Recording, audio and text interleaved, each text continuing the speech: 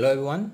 So now I'm going to discuss another example for the question which is in the third quadrant. So express Z in the polar form. Step number one to having an Argand diagram. So in this case, the location for the Z will be at the third quadrant. So for example, negative 5, negative 12i.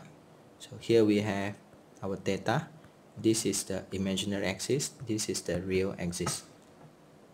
Second step is to find the modulus.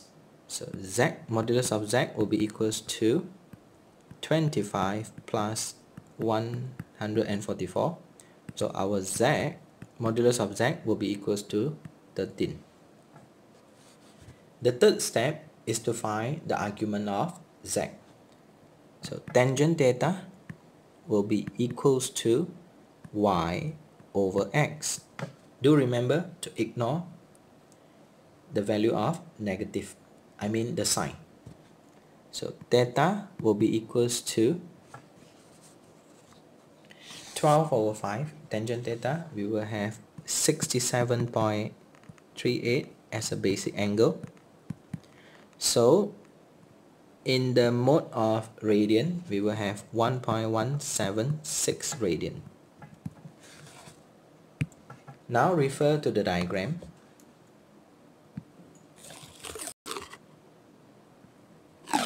The locations of the complex number will be at the third quadrant. So as we all know, this is our theta. Okay, so now we are going to look for the argument. So where is the argument? Do remember to start from the zero. So meaning that the shorter distance will be clockwise. So this is the argument of z. So in order to find the argument of z, it will be negative pi. Why negative pi? Because this is a clockwise. So if you follow anti-clockwise, it will be positive value. If follow clockwise, it will be a negative value. So this is what we call negative pi plus the theta. Okay, plus the theta because from here until this part we can consider as negative pi.